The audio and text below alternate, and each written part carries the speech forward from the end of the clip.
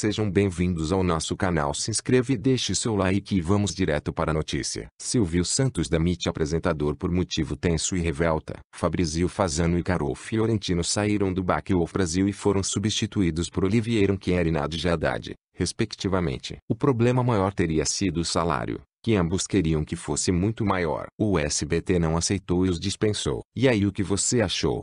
Comentem.